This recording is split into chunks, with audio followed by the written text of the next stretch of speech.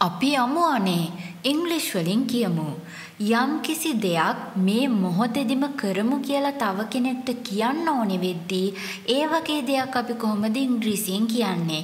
අන්න ඒක ගැන අපි අද වීඩියෝ එකෙන් කතා කරන්නයි යන්නේ. සාමාන්‍යයෙන් යම් කිසි දෙයක් කරමු කියලා කියද්දී අපිට පුළුවන් ඒක will form එක භාවිතා කරලා කතා කරන්න. We will do this. අපි මේක කරමු. හැබැයි මතක තියාගන්න මේ මොහොතේදිම යම් කිසි දෙයක් කරමු කියලා තව කෙනෙක්ට කියනවා නම් අන්න එතනදී අපි will form එක භාවිතා කරන්නේ නැහැ. අපි භාවිතා කරන්නේ let's කියන වචනය. අන්න ඒ වචනය ගැන තමයි අද මේ වීඩියෝ එකෙන් අපි සම්පූර්ණයෙන්ම කතා කරන්නේ. බලන්න මම මෙතන උදාහරණ වාක්‍ය කීපයක් දීලා තියෙනවා. let's do it. ඒක දැන් කරමු. දැන් අපිට මේකම කියන්න පුළුවන් we will do it කියලා. ඒක අපි කරමු. හැබැයි ඒ දෙක අතර වෙනසක් තියෙනවා. we will do it කිව්වොත් අපි ඒක කරමු කියන අර්ථය තමයි. හැබැයි let's do it කිව්වොත් ඒකේ යම්කිසි හදිසි බවක් තියෙනවා. මේ මොහොතේදීම කරන්න ඕනේ බවක් තියෙනවා. හිතන්න ඔයාලා ටීම් වර්ක් එකක් කරනවා. එක පාරටම ඔයාලට මොකක් හරි ෆයිල් එකක් හදන්න සිද්ධ වෙනවා. දැන් හදිසියෙම මේ පණිවිඩය ආපු ගමන් ඔයා අනිත් අයට කියනවා ඕකේ ඕකේ let's do it අපි ඒක කරමු කියලා කියනවා. දැන් මේක මේ මොහොතේදී සිද්ධ කරන්න ඕනේ.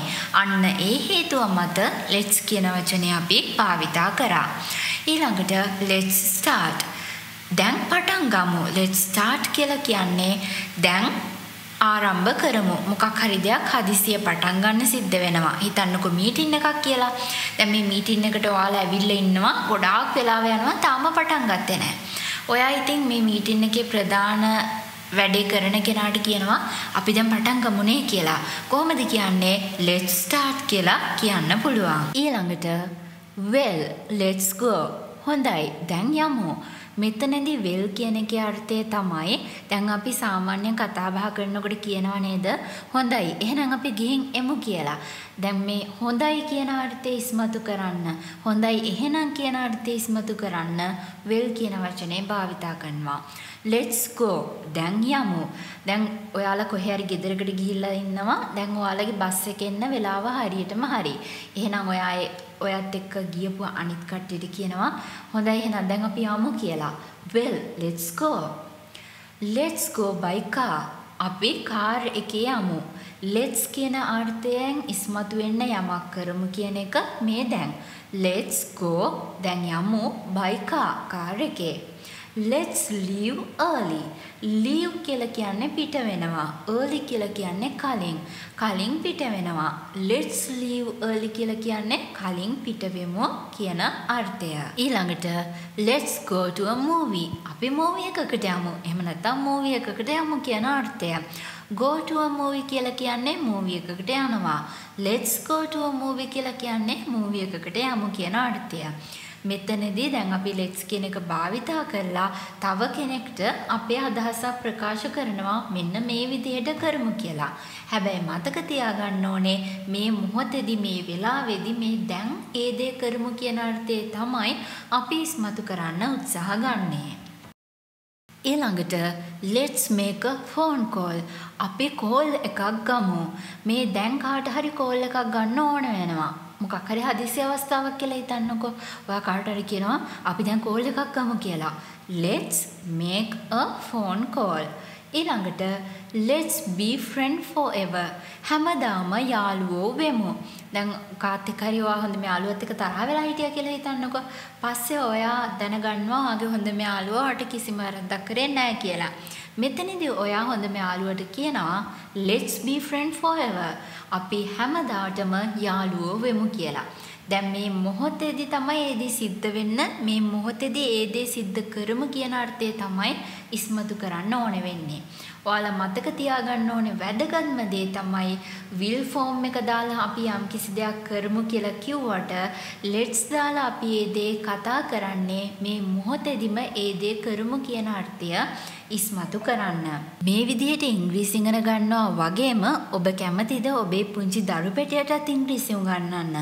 එහෙනම් ක්ලාස් එකේදී දරුවා ඉංග්‍රීසි ඉගෙන ගන්නවා වගේම දරුවට දැන් ගෙදර ඉඳලම ඉංග්‍රීසි ඉගෙන ගන්න පුළුවන් Viral Beam Kids කියන YouTube channel එකෙන්. ඔන්න අපි අලුත් වෙනසක් කරලා තියෙනවා channel එකේ. ඔයාලට පුළුවන් ඊට අදාළ වීඩියෝස් බලන්න Viral Beam Kids channel එක මගින්. එදිනෙදා ජීවිතයට අවශ්‍යම වන ඉංග්‍රීසි ක්‍රියාපද 500ක් උදාහරණ වාක්‍යත් සහිතව පැහැදිලි කරනවා පැය 3යි විනාඩි 20ක් වගේ ලොකු කාලයක් අරගෙන. දැන් මොන වගේ අවස්ථාවලදීද මේ ක්‍රියාපද ඕනෙ වෙන්නේ කියලා ඔයාලට මම පැහැදිලි කරොත්.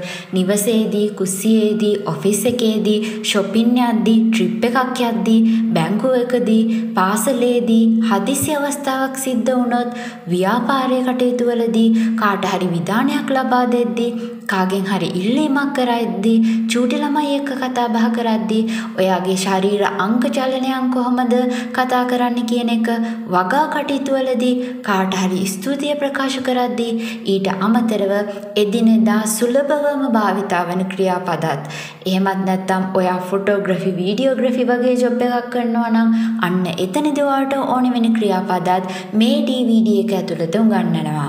ඉතින් මේ DVD එක රුපියල් 1500ක් ගාණක් වෙනවා. හැබැයි ඔයාලට පුළුවන් මේ DVD පටය අඩංගු වීඩියෝ එක ලබා ගන්න රුපියල් 1100ක් වගේ මුදලකට. සමහර වෙලාවට අපි පුංචි පුංචි ක්‍රියාපද භාවිතා කරනවා හැබැයි මේවා හරියටම භාවිතා කරන්න කොහොමද කියලා ලොකු අවබෝධයක් අපිට නෑ. නිකමට හිතන්නකෝ ගෙදරදී ඔයාට චූටි නිින්දක් දාන්න ඕනේ වෙනවා. ඔයා මොකක්ද ඒ ගැන ඉංග්‍රීසියෙන් කියනවා නම් භාවිතා කරන වචනය. නිකන් එකපාරටම අපිට මතක් වෙන්නේ ස්ලීප් කියන වචනයනේ. හැබැයි නිවැරදිම වචනය නැප් කියන එක. ඉතින් මෙන්න මේ වගේ වචන ගොඩාක් එකතු කරලා ඔයාලට වැදගත්ම වෙන ක්‍රියාපද පද 500ක් තමයි මේ DVD එක ඇතුළත උගන්වන්නේ.